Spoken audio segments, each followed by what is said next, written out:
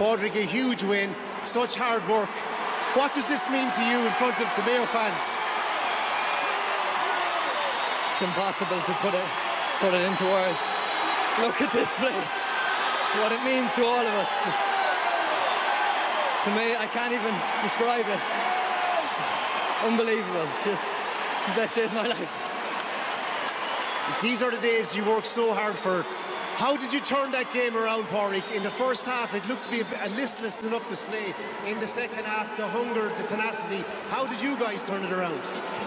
We love a battle, and we always seem to put ourselves at the bottom of the hill before we go climbing it. So we knew what we needed to do. We put in the work all year.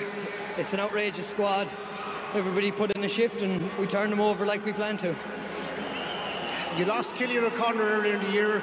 You lost Oisín during the week. Uh, Eoghan took a heavy hit out there. Was it hard to compose yourself and keep that momentum going towards the end of the game?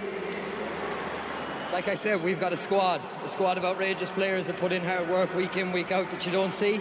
So when Oisín got hurt, somebody else stepped up, and that's what it's all about. This is a unit. It's not a group of individuals, it's a team. You've got another game to go, but are you satisfied that this young squad that's worked so hard to develop so quickly can keep this momentum going and push through to the final? Absolutely. We have only one plan